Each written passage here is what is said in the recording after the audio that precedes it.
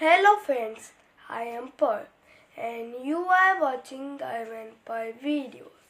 Before you start, I request you to subscribe my channel so you will get updates for any new video. In this video, I will tell you few facts about Karnataka.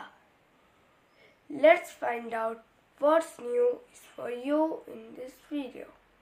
So let's start.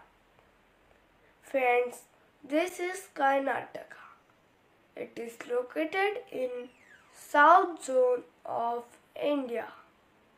It was formed on 1st November 1956. Its capital is Bengaluru. Its state animal is elephant and its state bird is